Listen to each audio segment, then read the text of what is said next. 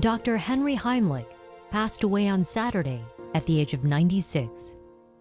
He was famed for inventing the life saving abdominal thrust that came to be known as a Heimlich maneuver. Over the years, the anti choking technique has been credited with saving as many as 100,000 lives, including those of Ronald Reagan, Elizabeth Taylor, Cher, and Goldie Hawn.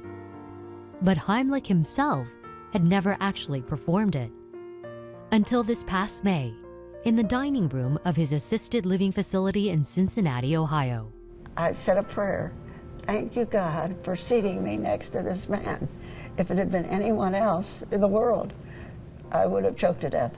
Her mouth was open, her tongue is sticking out, and she is absolutely not So he went to work. I can't get behind the chair, so I move her around this way.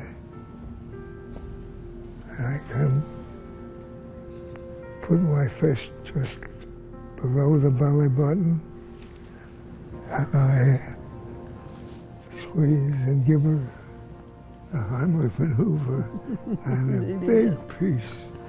And her face is all screwed up, her mouth is open, and a large piece of beef comes out. beef comes flying out, and we've been severed friends ever since.